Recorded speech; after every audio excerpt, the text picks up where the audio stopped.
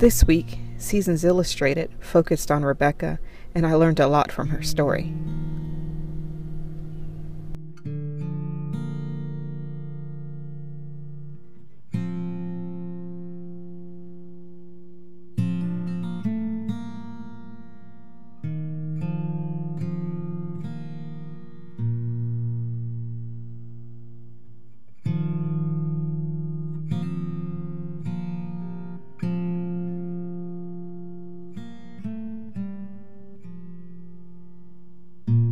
Rebekah did not mess around.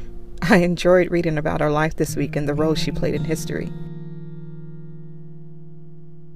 She was stepping up to answer prayers even before they were done being spoken. When Abraham's servant was told to go find a wife for Isaac, he asked the Lord for help. Rebekah was ready to respond before he was even done speaking the prayer. That's pretty awesome.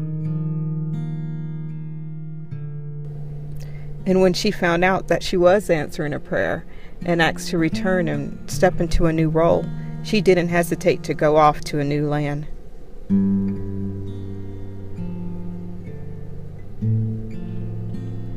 But later on in the story, a bit of controversy erupts, at least to those that get the chance to look in from the outside.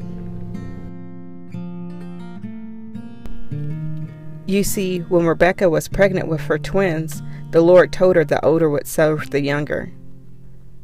Later on, as her husband was about to die and bestow the blessing, Rebekah overheard. And in that moment, she decided that the older would serve the younger. So she grabbed her younger son, disguised him as the older, and sent him in to receive the blessing. Whether her act of trickery was part of God's plan all along or her hurrying the plan along herself, one thing's for certain God did choose Rebekah, and I find peace in that.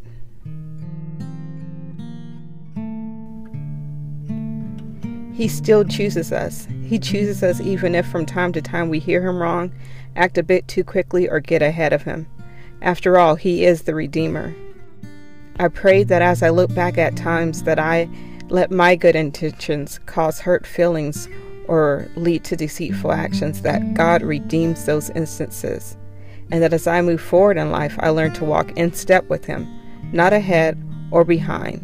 In the name of Jesus. So, how has the story of Rebekah affected your life? Do you ever feel that you're moving ahead of God, that you're on the right path, but just a few steps ahead of His timing? Please let me know. Also, let me know if you're enjoying this Woman of Valor study from Seasons Illustrated. I am. Until next time.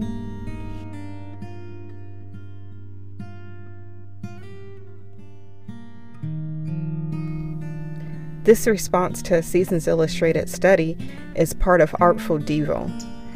I am all about learning from the Word, applying it to my life, creating something cool with it, and then sharing it with others. If you want to learn how to do this for yourself, please check me out at artfuldevo.com.